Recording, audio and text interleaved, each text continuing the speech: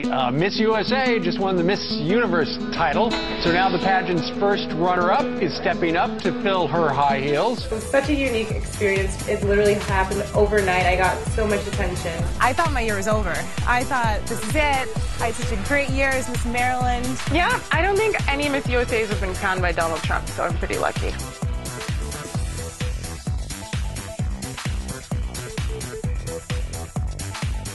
Uh, Miss USA, Nana Meriwether is here right now. I'm also obsessed with the fact we're an all-American college, all-American college volleyball player. At UCLA? Time. Yeah. Twice. Father's an ER doctor, mother's an attorney, Mm-hmm. and you've taken the MCAT and you've taken the LSAT. So Right. which way are you going to go? I think I'm going to pursue medicine. You're not just beauty, your brains too.